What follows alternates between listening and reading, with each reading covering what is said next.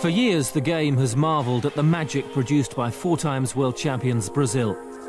The natural skills possessed by the South Americans have so often set the standard.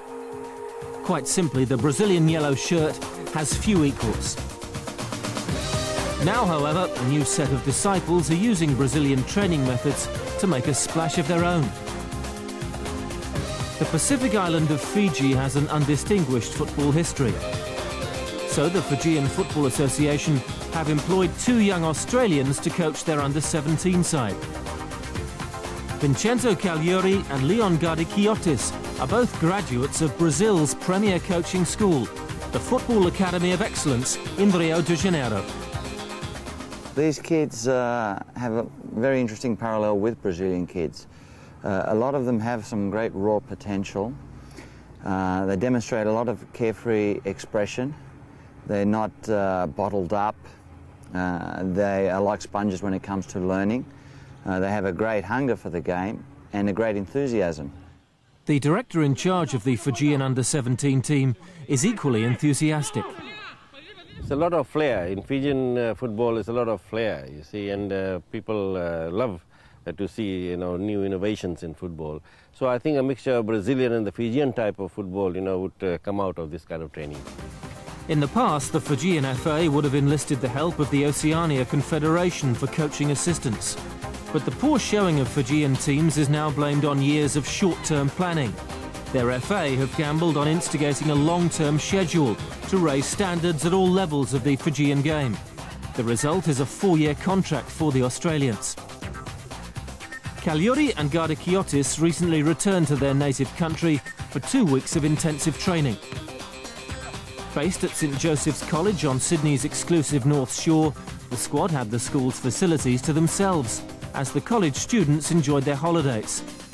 This allowed them to focus on the task ahead, qualification for the World Under-17 Championship finals in November. It could be a giant stride for the hosts of the qualifying tournaments. We are basing our hopes in this team to prove to us, you know, that uh, such a such a step that we have taken, a very expensive step, would is, is in the right direction. Now, the success of this team means, you know, that uh, you know whether, whether we are going to continue such programs. Although the Fijians will be using Brazilian methods, the two coaches feel their approach can be adapted to suit any team worldwide. The backbone of our principles and philosophies stem from Brazil. But now we've um, added various bits from, from Europe where we know it would help uh, the, development of the kids and um, give them more of a chance to uh, expand their understanding and apply things on the park. Whilst the physical preparation for the team is often rigorous, one aspect of training has given the team some light relief can see the training has been put into some uh, rhythmic uh, nature and uh, it's like the Brazilian samba, as it were, and uh, the Fijians have their mekes, you know, which is very rhythmic. And uh, to adopt this kind of uh, coaching, you know, it gives them a little bit of pleasure also, you know. Certain similarities already exist between the Brazilian and Fijian styles, but the two new coaches believe they can now change the face of football throughout the Pacific region and even Australia and follow the example of other emerging football nations. Over the last 10 years, um, the foundations of success in these countries, the Middle East countries and Africa, has been based on, on Brazilian coaches being there and, and, and, teaching the philosophies and methodology of Brazil. Um, they've done it there, so there is no reason why it cannot be done in the Oceania region.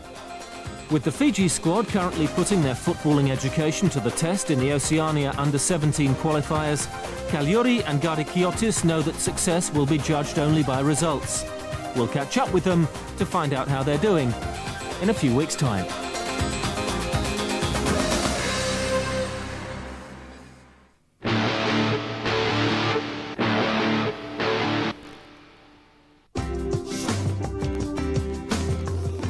Tropical paradise, the South Pacific island, beautiful beaches, high-class resorts, and exotic plant life attract visitors from all over the world, keen to sample most Fijian of customs, walking on hot coals.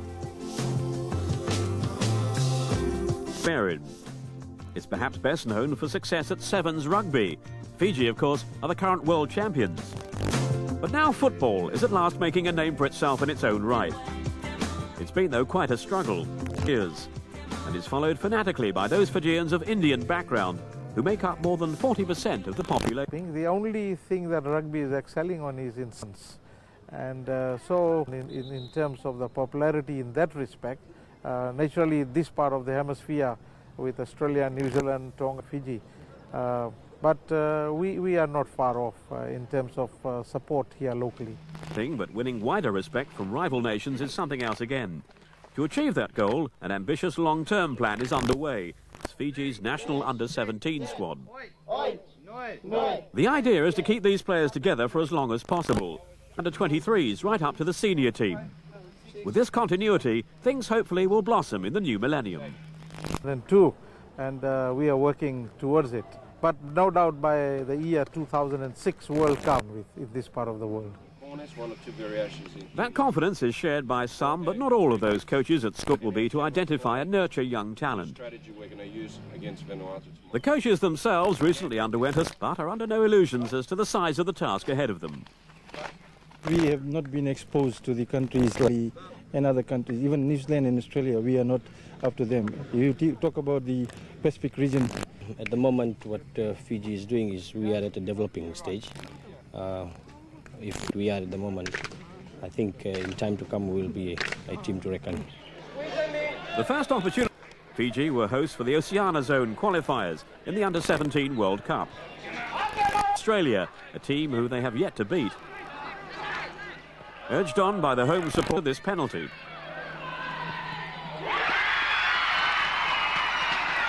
Two in as many minutes soon after the restart, and that was that.